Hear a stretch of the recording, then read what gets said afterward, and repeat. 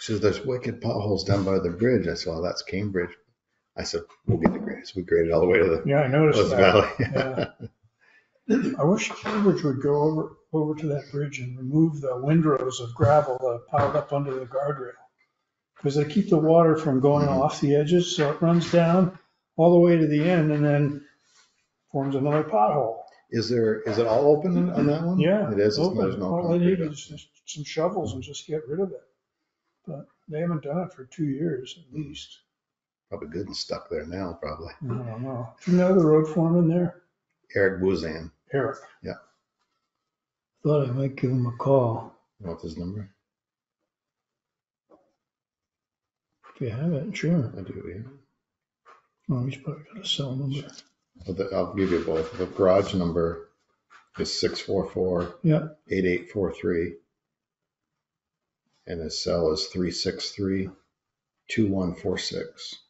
is he a pretty good guy? He's a very good guy. Yep. Yeah, great. Sorry. Anybody got any adjustments? No adjustments? No public, I don't see any public here, so I guess we'll move right into paving bids review. I sent that file to everyone, right? Yeah. Yep. good- good check with that.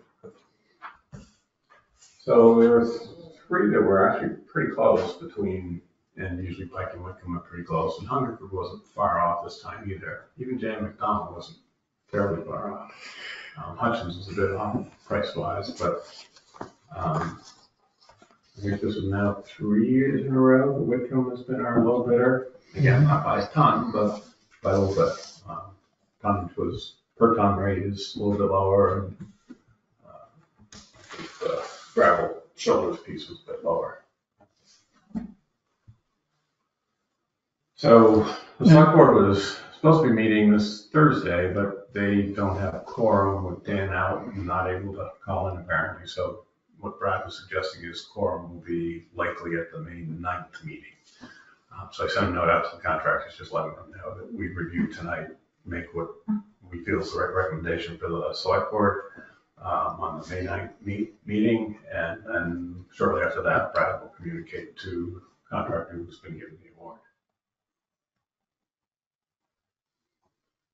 And interestingly, we put in requests for a bid price for if they do it this year, before the fall season closes up, Mm-hmm, or if they do it in the spring. mm-hmm. And with the exception of McDonald, they pretty much all said the same. It's all price adjusted. Um, But they basically said, we actually are kind of hungry for work pre-July one. So we have the option of having them this year do it during summer, or fall time, more likely fall.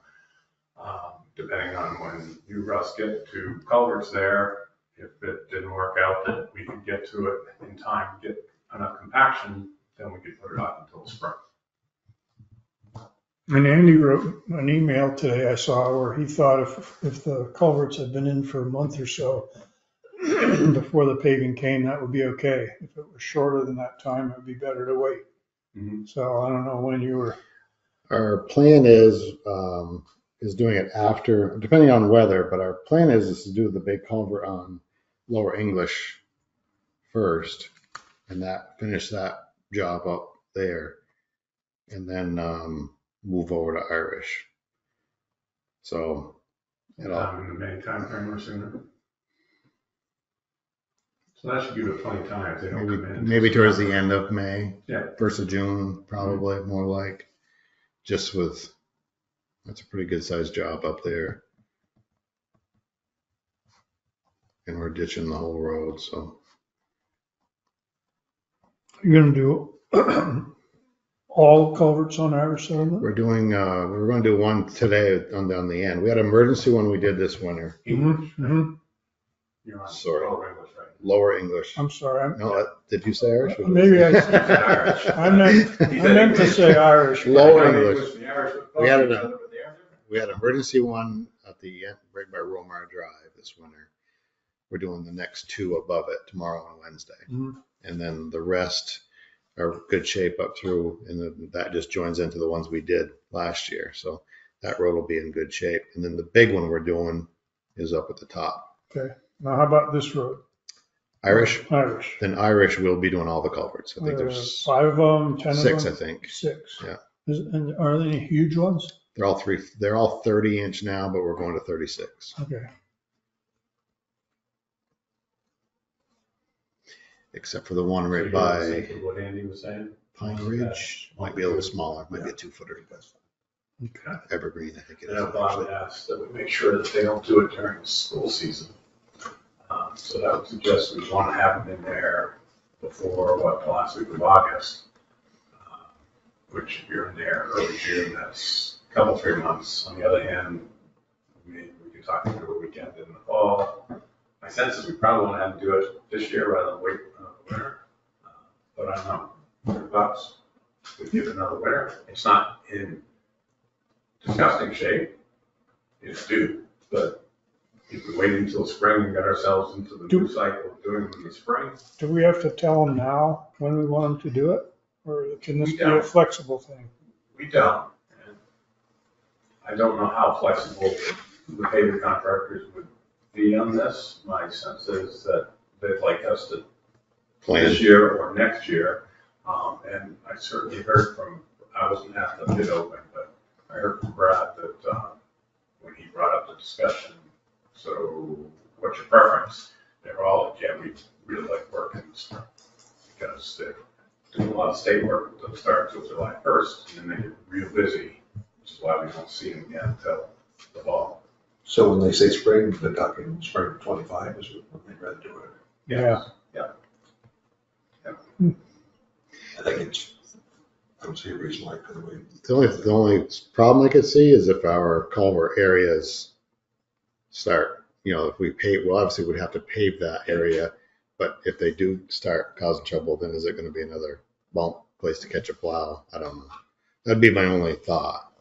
Well, If that was gonna happen, it's better for it to happen than have it paid and then. Yeah. I thought I recall uh, Iowa Billingsley trying to tell us one time that you want to do it so that it has a winter to compact and then. as Well, I mean, yeah, I mean, the more time, the less you're gonna, I mean, the more time goes Yeah. by, the less you're gonna have problems if you, when you pave. Yeah. Yeah, I'd say if we could wait, I don't think that road's in terrible shape. No. Not compared to segment three of Pleasant Valley. Boy, Yeah. boy, that's, that's really took a beating this winter. And that's one we got to start talking about here pretty soon. We've got work to finish. um, And we've got to make sure that happens this year. And then we've got to get the engineering work lined up around Harvey Road and get those grades set. And then get that put out to bid so that that work gets done before the paving work would happen, which should work all right if we're going to do a spring paving on that. All that needs another winter on that stretch. What do you mean? I mean, wouldn't it all be one project? if we can get it done that way. I don't know yet that we'll be able to get a paving contractor to do the regrading, depending on how we choose to do that. Well, If all we're gonna do is have them grind it down, All these contractors do earthwork too, but uh, I'm referring, I'm familiar with that. Whitcomb Pike, they all have their own. okay. So either we should just combine it as one project and, okay, makes sense to me. And if they don't, they can just, They sub it. so, so- right. and they, they've all done work, earthwork for me before, so I don't know, I'm referred, but everyone else does. How long has McDonald done paving? What a while, I think. Have they? I didn't realize that. Their rep used to be the guy for ST paving, but I guess ST is no more, they got bought by McDonald, and so Paul now, uh, Oh, I guess not that Oh, long. okay. but Paul now works. So that's how they got into the paving, is they bought ST? Sounds like it. Yeah. Ah, so they weren't doing paving in the past? Uh, I didn't really deal with, never paid earthwork. Could be, so they. They always did paving, but they sub, maybe they subbed it out. Yeah. Yeah, we didn't get bids from ECI, Fresh Coat. What else did we put to? Ireland. Yeah, ECI, Ireland, and Fresh Coat did not choose the bid this year. Not the six, so, yeah. Has these guys been in the past? They did, they were very high.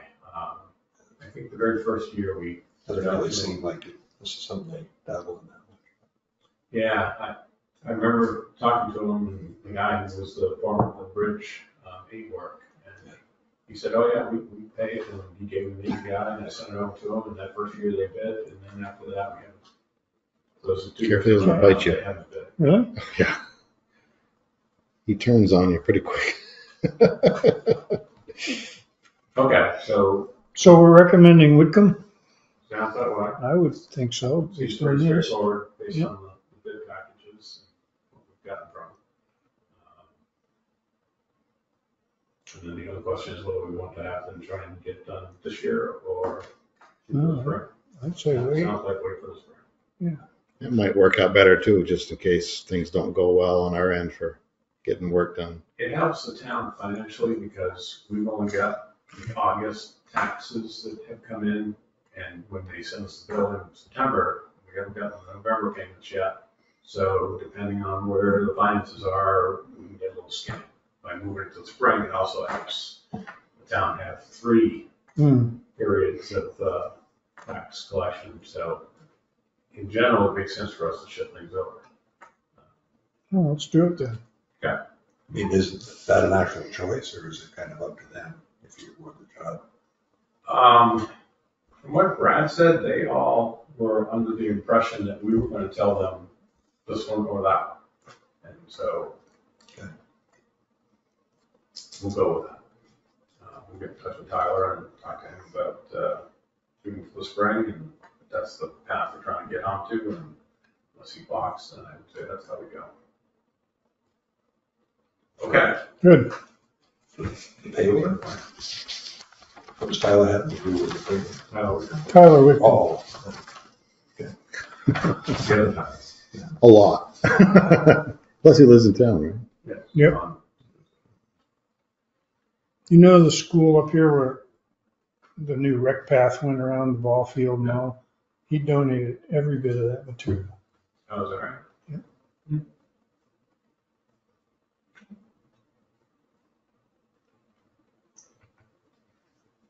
Sue.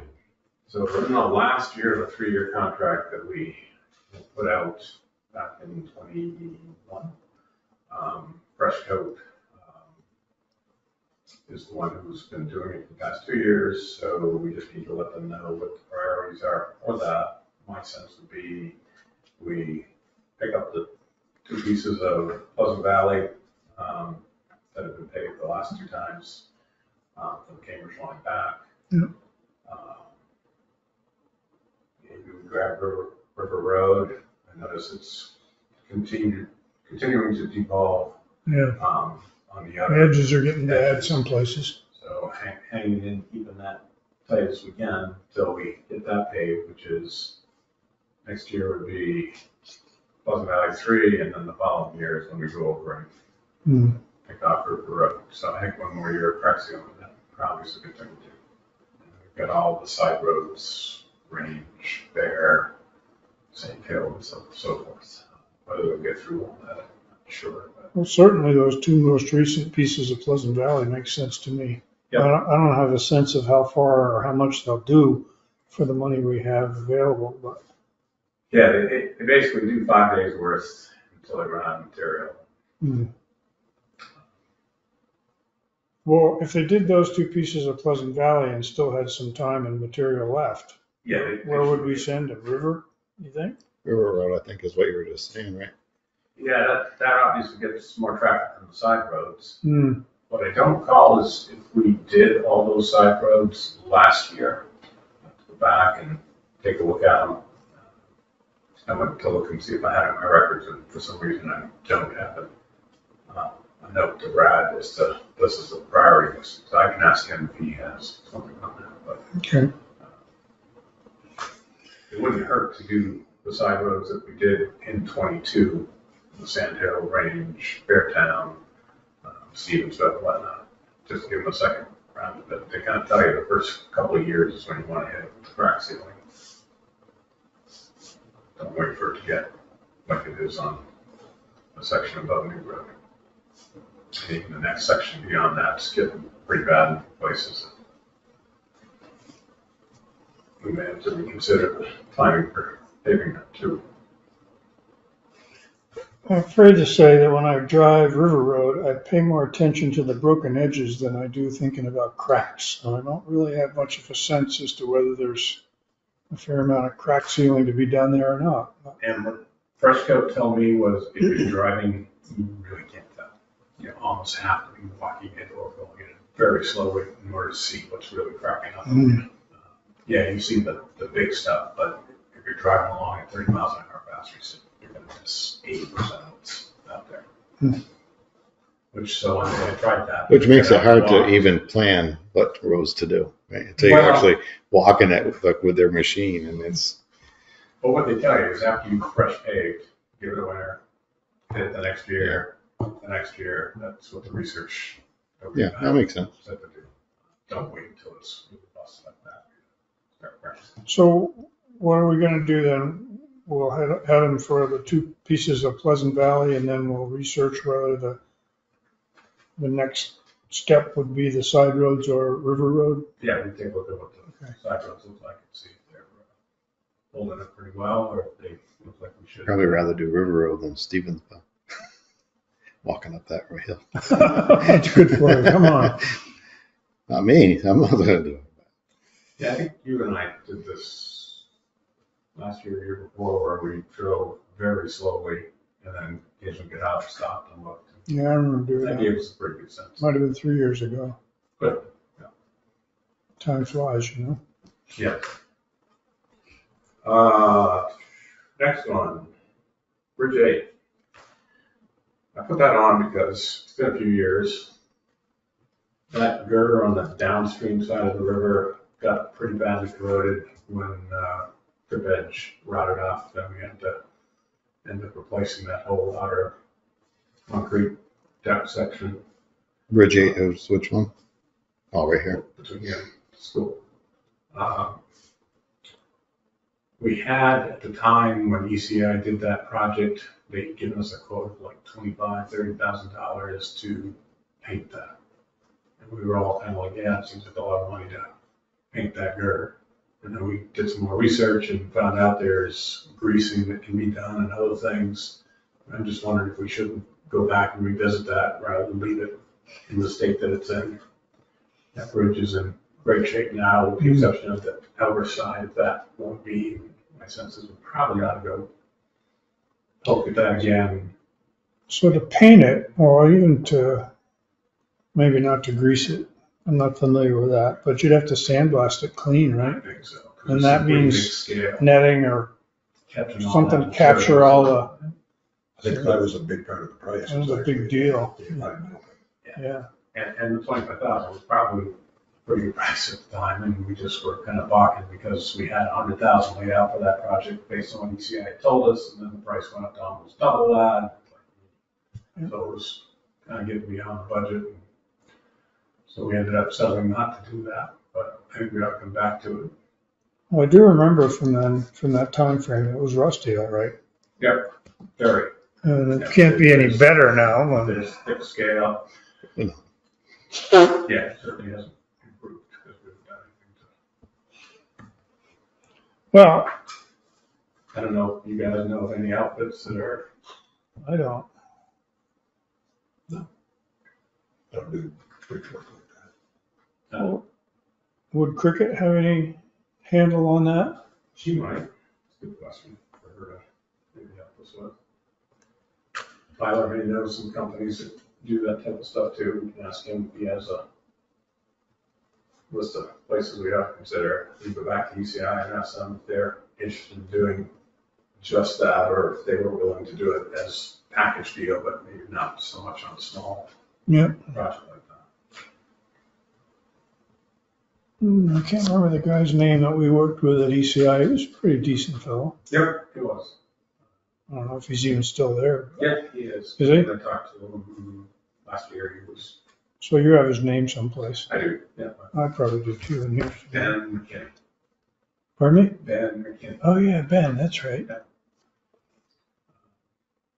He probably would be the guy for that, although he might be. Well, he could put us in touch with the right, Yeah. And if he, if he doesn't do it, he might know some other companies too, so I can. that's that as well. You want me to uh, contact Cricket or Tyler, or you want to just take them all three? Uh, I'll send a note out to the three. Okay. Uh, Just saying we're interested in picking up on that again and getting that squared away. At least find out what it costs, you know? Yep. I mean, It may be so astronomical by now, we'll say, let it rust some more.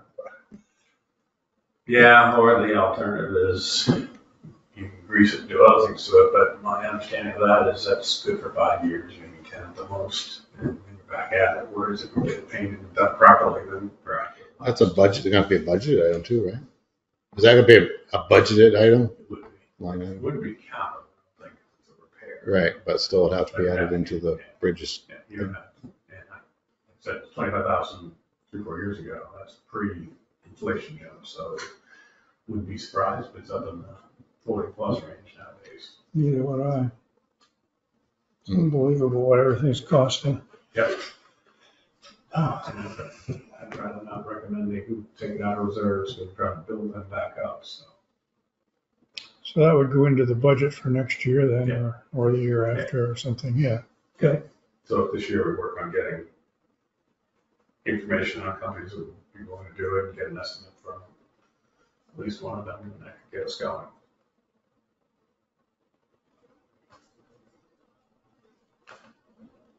Good. I kept the meeting short because I wasn't sure I'd be here and I know I've got a busy two weeks in front of me, so.